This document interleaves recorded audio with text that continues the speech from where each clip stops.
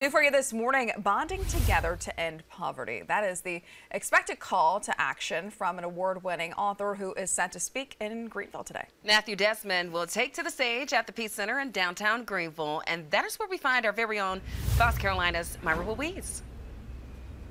Yes, we are outside the Peace Center. We can see organizers getting things in place inside there. But in a little while, we'll see a stream of people heading in to hear from the Pulitzer Prize winning author and Princeton professor Matthew Desmond. Now, Desmond is expected to bring up much of what he brought up in this book, uh, Poverty by America. And uh, he says by instead of in because he argues that the government policies, company practices, and consumer choices are either causing or contributing to people living in poverty in this country. Now, he talks about the inequity in wealth and attitudes that have made it harder to change that, saying policies tend to focus more on safeguarding wealth rather than empowering the poor. Desmond is asking individuals to do what they can to end poverty.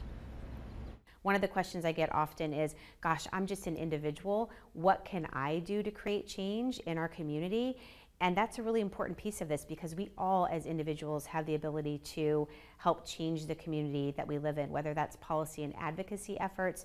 Voting is very, very important, um, as we know, in terms of, of the path that we're choosing for our community, but also about where we live and how we spend our money and where we invest is really important as well.